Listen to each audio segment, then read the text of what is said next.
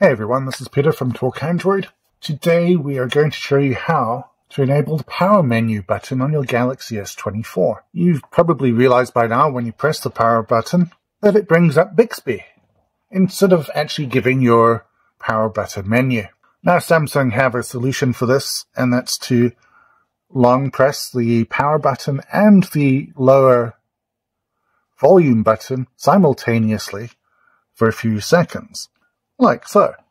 But it's a pain, and you shouldn't have to change the way you use your phone because Samsung wants you to use Bixby. It's only going to take a few seconds to actually do this.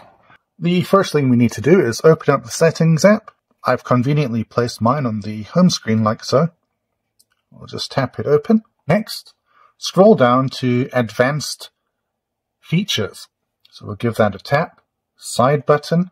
This is the one we need to uh, select. And now we've got the options.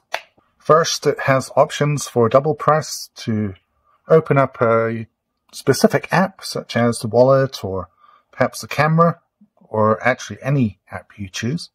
But we don't care about that right now. We just want to get back to having a power button that acts like a power button.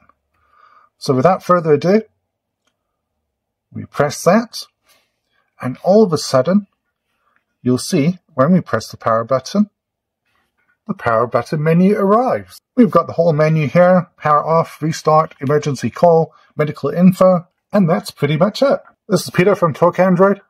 Thanks for watching yet another how-to video for the Galaxy S24. We have more videos in the pipeline. Stick with us. Bye-bye.